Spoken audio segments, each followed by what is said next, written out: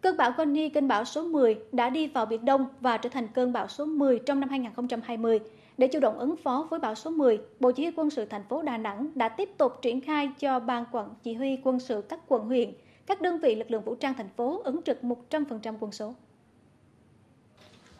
Phối hợp hỗ trợ cấp ủy chính quyền địa phương và các đơn vị có liên quan triển khai công tác sơ tán nhân dân, chằng chống nhà cửa, kho tàng, tìm kiếm cứu nạn khắc phục hậu quả thiên tai, bố trí đủ lực lượng phương tiện tại các khu vực địa bàn sung yếu, tổ chức lực lượng dân quân tự vệ canh gác chốt chặn tại các khu vực ngập sâu, ngầm, cầu tràn qua suối, nhất là khi có nước chảy xiết, nơi có nguy cơ sạt lở đất, lũ quét, chuẩn bị đầy đủ lương thực, thực phẩm, nước uống và sẵn sàng triển khai các lực lượng, phương tiện, trang thiết bị cứu hộ cứu nạn khi có tình huống xảy ra, nhằm đảm bảo an toàn tính mạng, tài sản của nhân dân và của nhà nước.